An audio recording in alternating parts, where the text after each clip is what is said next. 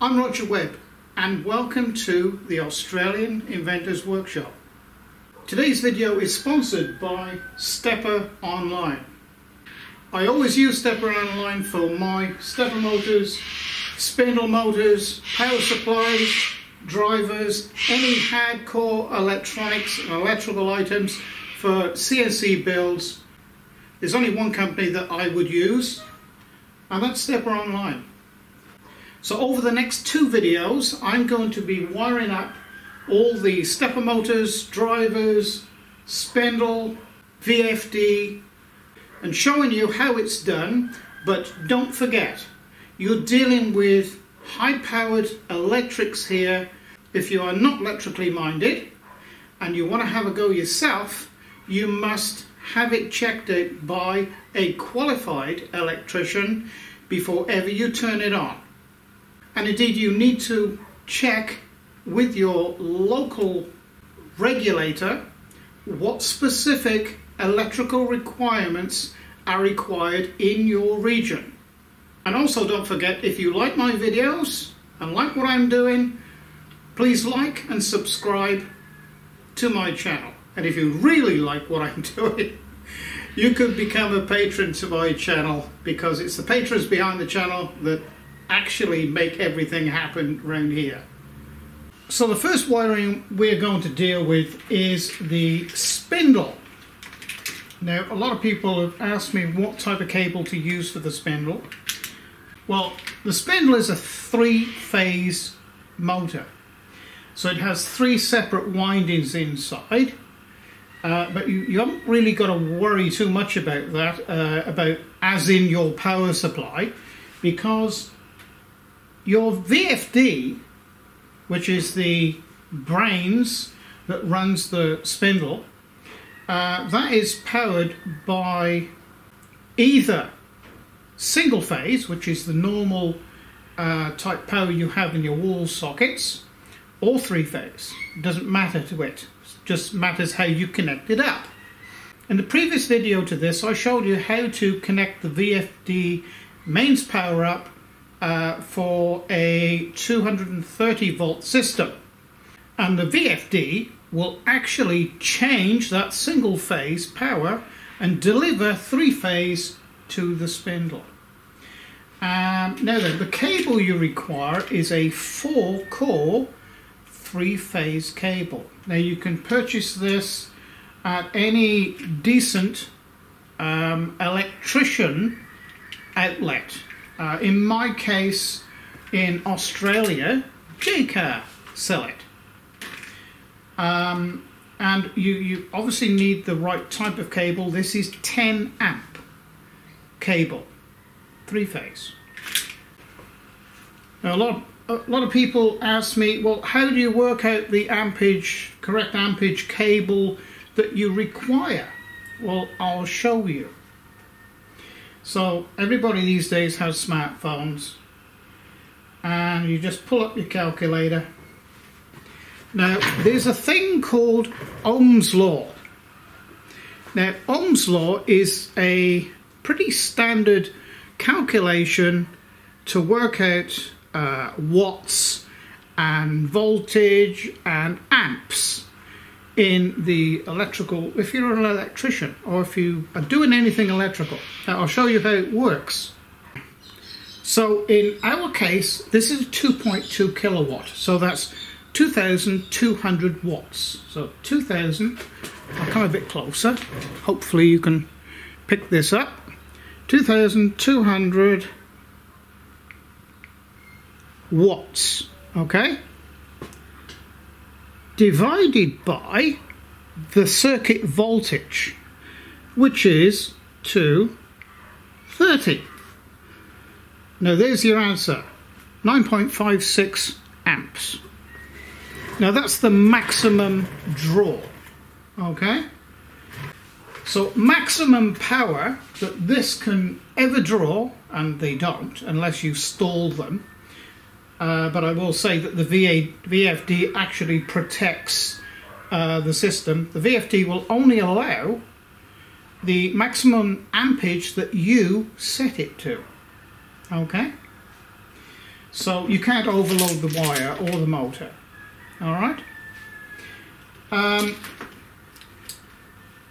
so this will never actually draw 10 amps. It will, you know, it will never draw it because it's a it's a high speed.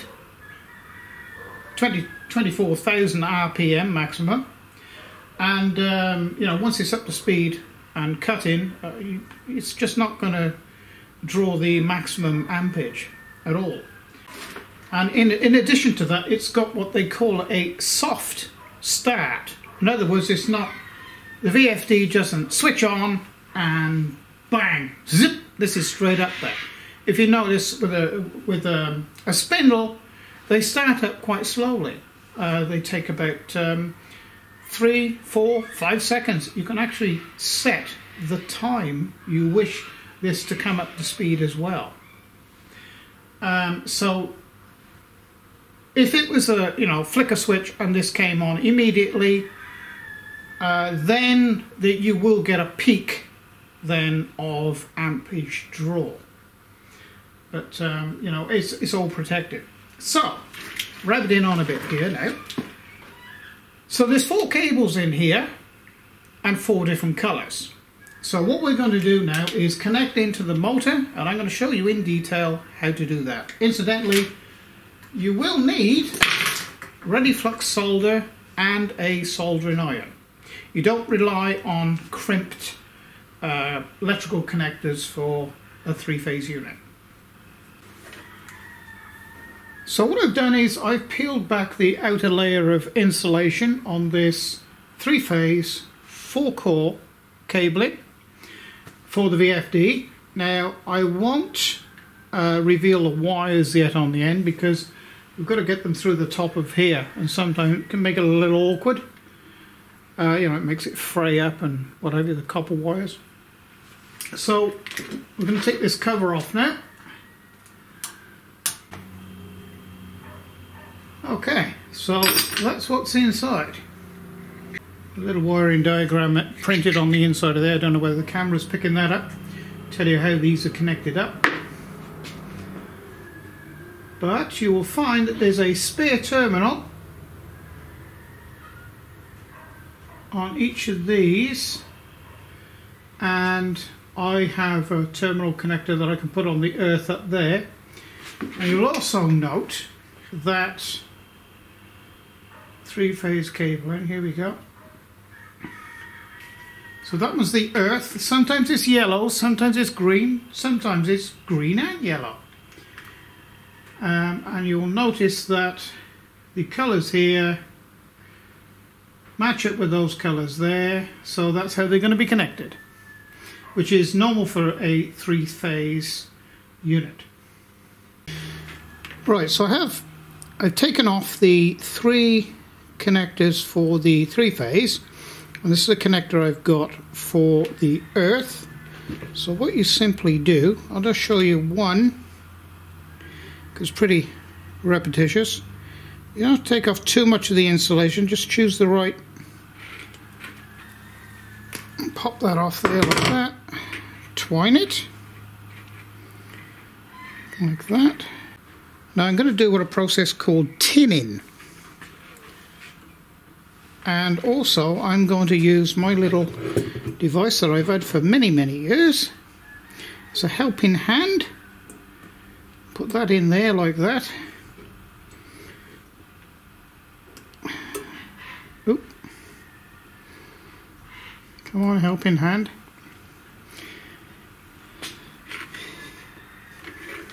Now the soldering iron has been uh, warming up for some time so what you need to do is get a little bit of solder on your soldering iron. I'll zoom you in a little bit. Might be able to see a little bit better what's going on. So, first of all, we need to get some solder inside this. So just heat it up.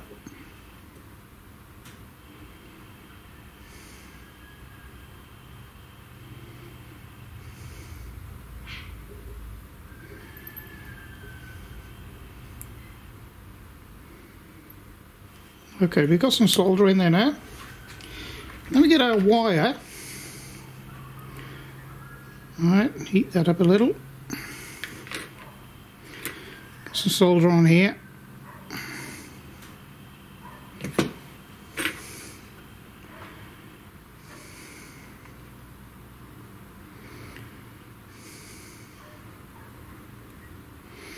It's called tinning, by the way. Make sure you got solder on it. This is ready flux solder. Okay, so then heat this up. Pop it in there like that and release.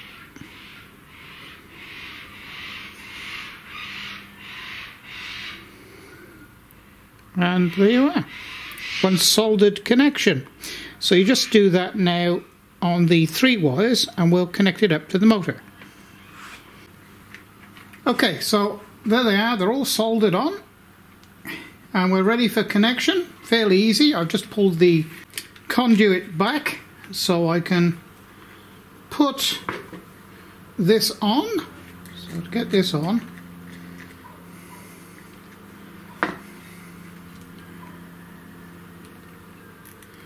Put those through there first, like so. Then put these through here, like this. Will they all go through together? No, three will. Then the fourth. So they go through. Pull that up there out the way. So, very easy Let's not tangle these wires up. It's nice to keep them nice and straight. Um, that one on there, let's get the nut. I'm not actually tightening them up yet because they're not going to stay like that. Because they're going to come in from this sort of angle, like that.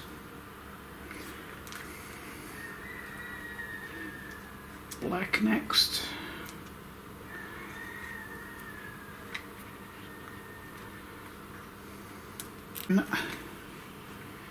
The blue, like this. I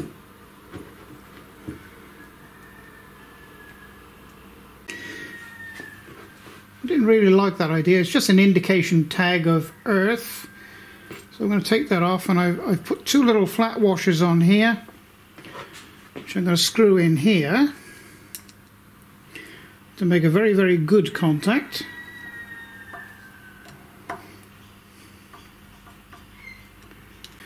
Actually what I need is a pair of pointy nose pliers to hold that there because I want it to be in that exact position rubber up out the way.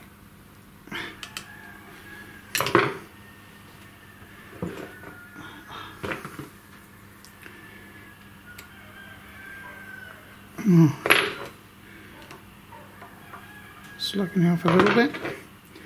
Pull that rubber up out the way. That's better.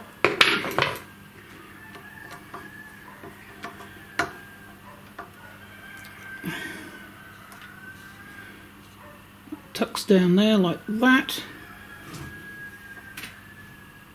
Nice and firm.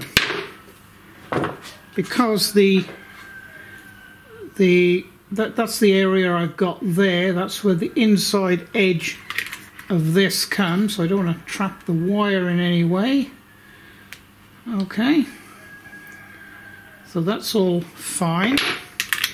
Now I can pull this up and just offer it up into here and make sure the wires are going to lie where I want them to. Yeah, that's fine. They're not failing in any way with each other. So now that can be screwed back on. And uh, this particular spindle has ceramic four ceramic ball bearings. because I use mine to cut aluminium as well. Aluminium, brass, copper. It'll cut it, it'll machine it. Uh, I do see people do trying to machine steel as well, mold steel. Wouldn't advise it. Okay, let's do this up now. When you do this up, it sort of clamps around the cable and stops it pulling out. Let's get a little shifter a minute. Just enough so it does clamp on the cable like that because this is plastic and you know this is plastic as well you don't want to over tighten it and snap it off now I can put the this is the most difficult job I think. Getting this back on.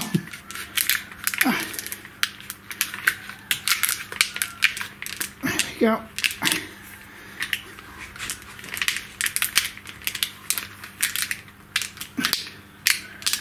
Okay.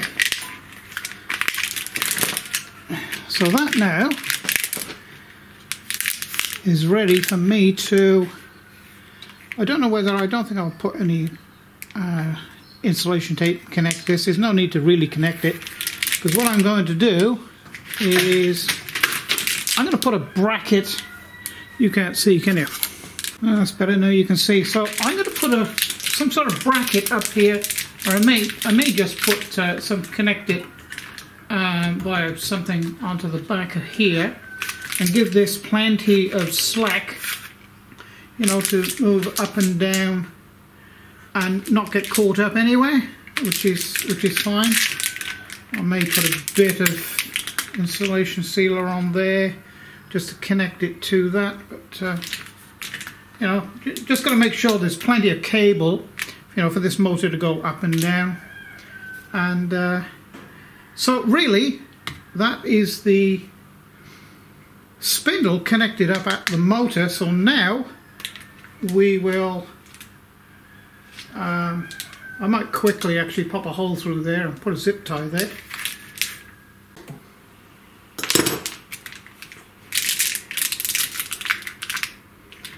Okay. And now a couple of zip ties over the back here.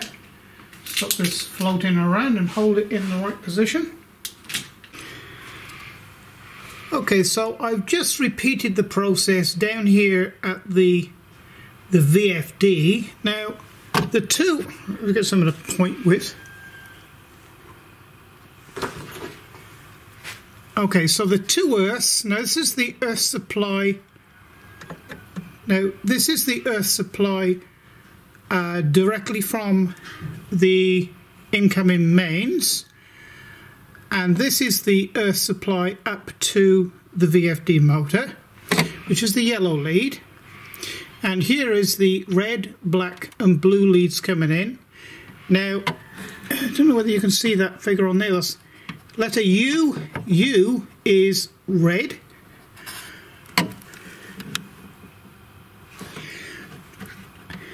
Now, I don't think you can see that in there, but the next one along is V. V is black and W is blue. Okay, now get in there a little bit closer. You might be able to see through from the side there. So that's U, V, W. Red, black, blue. Now that is the way that my VFD and my spindle is connected up. That's the way the wiring says in the book and so it should be correct.